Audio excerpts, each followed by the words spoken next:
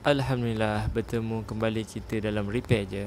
Okey, Assalamualaikum. Uh, Paparan kali ini aku nak share mengenai spark plug. Okey, saksikan. Sebelum tu jangan lupa like dan subscribe Supaya anda tidak ketinggalan uh, dengan video-video terbaru yang akan datang. Okey, terima kasih. Ini adalah ignition coil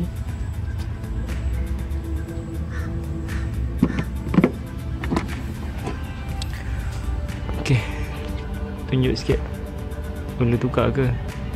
Kau pula macam ni.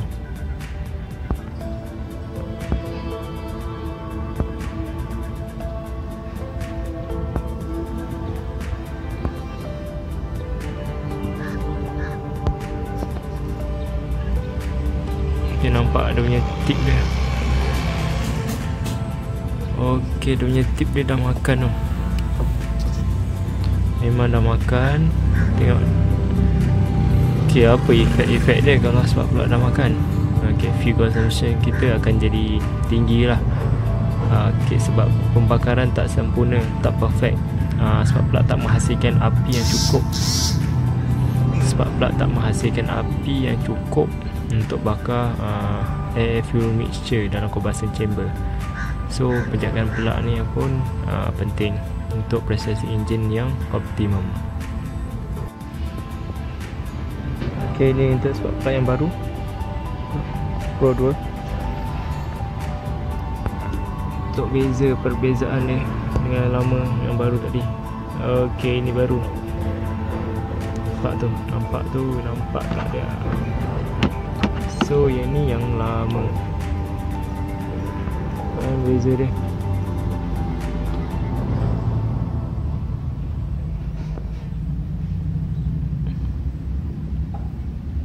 Jauh dah gap dia.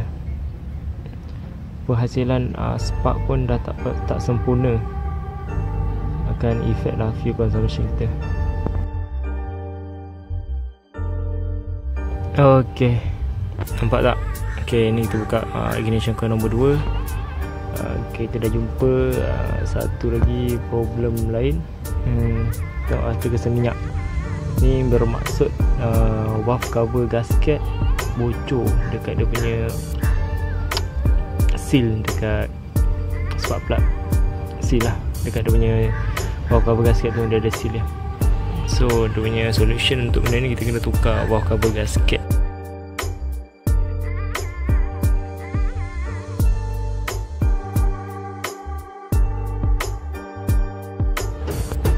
Okay, nampaknya untuk nombor 3 pun sama. Bocor.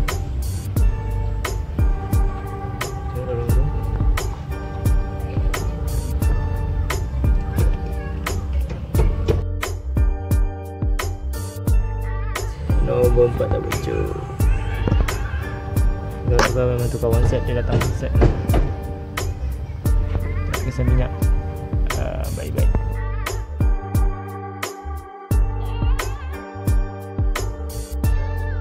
Okey siap. Nombor 1 Nombor 2 Nombor 3 Nombor 4 Nombor 2 dengan 3 Bocor. So kena tukar bawah cover gasket ni lah. Satu set ni Keliling. Ni Buka. To next next video next episode